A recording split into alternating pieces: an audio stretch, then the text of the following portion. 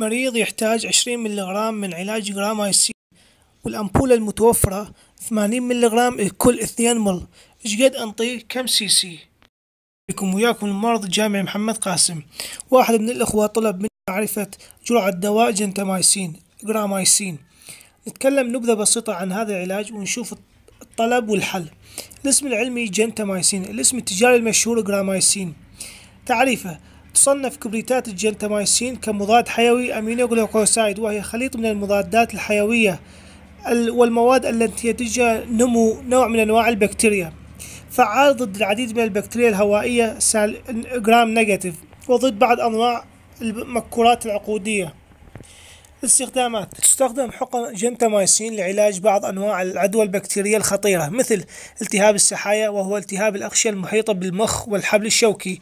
التهابات الدم تسم تسمم الدم. يستخدم جنتامايسين أيضا لعلاج الالتهابات البكتيرية التالية مثل التهاب العظام والتهاب الجهاز التنفسي مثل التهابات الرئوية وكذلك التهاب الجلد والأنسجة الرخوة والتهاب المسالك البولية التهاب الحوض والتهاب المعدة والأمعاء التهاب الشغاف عدوى القلب.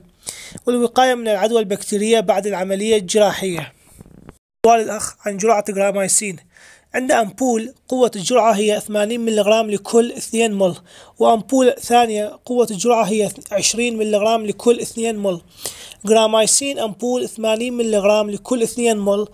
إيه، طلب مني الطبيب أعطي الطفل 20 ملغرام فقط. إيش قد أنطيه؟ كم سيسي الجواب كنا نعرف أنه واحد مل يساوي واحد سيسي يعني اثنين مل معناه اثنين سي سي بما أن الأمبول تحتوي على ثمانين ملغرام من جرامايسين في اثنين مل يعني في اثنين سي سي إذا هذا يعني أن كل واحد مل يحتوي على أربعين ملغرام من جرامايسين لحد الآن واضح. والمطلوب هو عشرين ملغرام يعني تكون الجرعة هي نصف مل يعني نصف سي سي ملاحظة بعد التأكد من عدم تحسس مريض من جنتامايسين مثال آخر.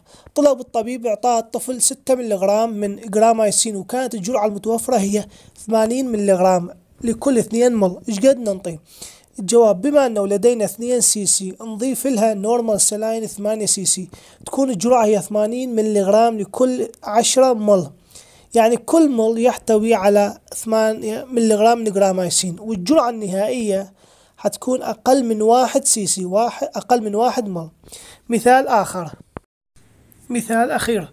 طلب الطبيب إعطاء الطفل 16 ملغرام من جرامايسين أمبول والجرعة المتوفرة هي فقط 20 ملغرام لكل اثنين مل.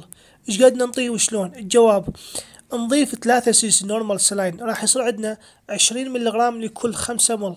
يعني كل واحد مل أو كل واحد سيسي يحتوي على أربعة ملغرام من جرامايسين بما أن المطلوب ستة عشر ملغرام إذا تكون الجرعة هي عشر أربعة سيسي أو أربعة مل.